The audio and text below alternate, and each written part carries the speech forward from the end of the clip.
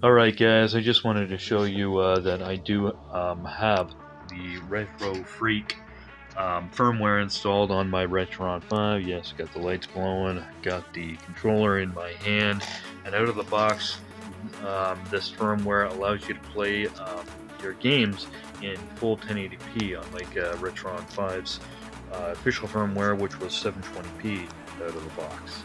You can now install games from cart. All you do is just plop a game right in the cart slot and it will ask you if you want to install the SD card.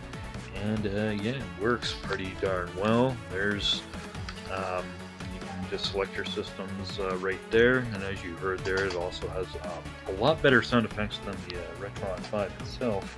But uh, yeah, there uh, I got a game in the Game Boy, um, uh, the original Game Boy and uh, this is actually a homebrew.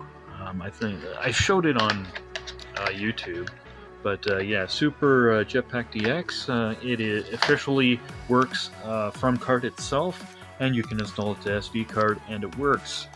Um, you also get to play PC Engine games, as includes TurboGrafx 16, and of course Europe's version of the system as well.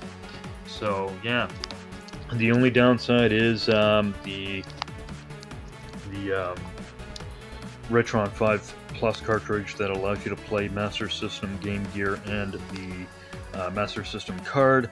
Um, it doesn't work fully. Master System games work, Game Gear doesn't, and uh, I'm not really sure about the, the Master System cards themselves. But uh, yeah, let's just load a homebrew game here. Um, just going to load up Super JetPak DX. And uh, yeah, there you go. You can see Homebrew works. Everything works great. And uh, yeah, uh, it looks fantastic on a 4K TV. So yeah, that's it.